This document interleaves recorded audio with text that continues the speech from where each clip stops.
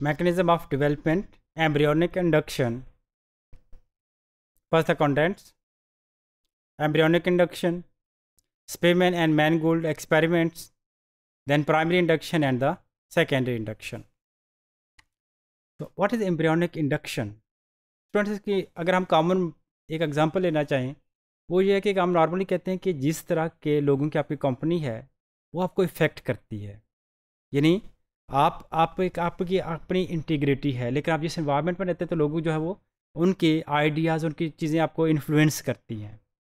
Similarly जब developmental जो process है, इसमें भी सही ये चीज़ एग्जिस्ट करती है कि सेल्स जो है वो, जिस पोजीशन पर मौजूद हैं, उनके करीब वाले सेल्स जिस तरह के होंगे, वो उनको क्या करेंगे? उसी तरह का उसके ऊपर इफ़ेक्ट करेंगे। तो इसका सिंपली मतलब ये है कि कुछ सेल्स ऐसे होते हैं बॉडी के अंदर it is basically primary induction की हम इसको, या सिंपल वे में अगर हम इसकी एग्ज़ाम इसको डेफिनेशन इसकी देखें तो primary induction basically it is the capacity of cell to induce the development in other cells कि एक सेल टाइप के सेल्स हैं, जो दूसरे टाइप के सेल्स को क्या करते हैं, उसमें डेवलपमेंट जो वो इंड्यूस करवाते हैं। इस प्रोसेस को हम क्या कहेंगे it is the embryonic induction है।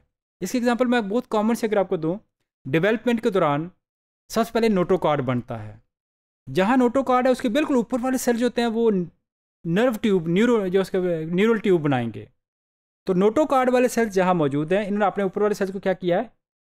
इवोक किया है। किस लिए इवोक किया है? For the formation of neural tube nervous system बनाने के लिए इवोक किया है। हालाँकि नोटोकॉर्ड तो नर्वस सिस्टम का हिस्सा नहीं है। तो इसलिए एक टाइप के सेल जब दूसरी टाइप के सेल्स की डेवलपमेंट को स्टार्ट करवाते हैं तो उसको हम क्या कहेंगे? It is the embryonic induction है। Embryonic induction is a wide spread in the animal development animal की डेवलपमेंट के अंदर ये बहुत कॉमन प्रोसेस है। आमतौर पर एक टाइप के सेल्स होते हैं, दूसरे टाइप के सेल्स को इंड्यूस करते हैं उसको। आगे डेवलपमेंट में जो वो। आगे हेल्प आउट करते हैं।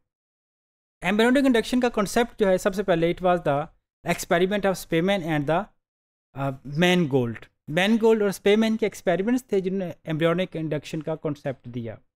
What was the experiment in experiment Spemann and Mangold they took the embryo of salamander at gastrulation stage उन्होंने क्या किया कि सेलेमेंडर का एक एम्ब्रियो लिया जो कि गैस्ट्रोलेशन स्टेज के ऊपर है। गैस्ट्रोलेशन स्टेज के ऊपर जब एम्ब्रियो होता है तो उसका बाकायदा एक ब्लास्टोपोर होता है। यही वो ब्लास्टोपोर है जहाँ से मेन बॉडी ऑर्गन बनना शुरू होना होता है। स्पे मैन ने क्या किया? उन्होंने एक और एम्ब्रियो लिया। एंड उस सेकेंड एम्ब्रियो का उन्होंने ब्लास्टोपोर का जो डॉर्सल लिप है वो यहाँ से उतारा और पहले वाले एम्ब्रियो के ऊपर आकर इंजर्ट कर दिया, उसको ट्रांसप्लांट कर दिया। इसका मतलब क्या अब ये जो एम्ब्रियो इसके पास दो ब्लास्टोपोर के लिप्स आ गए हैं। एक उसका अपना और एक वो जो यहाँ आकर लगाया गया है। लेटर ऑन जब उन्होंने उसको दोबारा फर्दर प्रोसीड किया एक्सपेरिमेंट को they notice that the second blastopore also started the development of different body organs कि जो सेकेंड जो ब्लास्टोपोर था, उसने भी आहिस्ता सा क्या किया कि डेवलपमेंट स्टार्ट कर दिया। इस ये एम्ब्रियो में एक नोटो कार्ड इधर से बन रहा है, एक नोटो कार्ड दूसरी तरफ़ से बन रहा है। तो इस तरह से दो डिफरेंट ऑर्गन जो पोजीशन के ऊपर सेम सेम ऑर्गन जो है बनना शुरू हो गए सो so,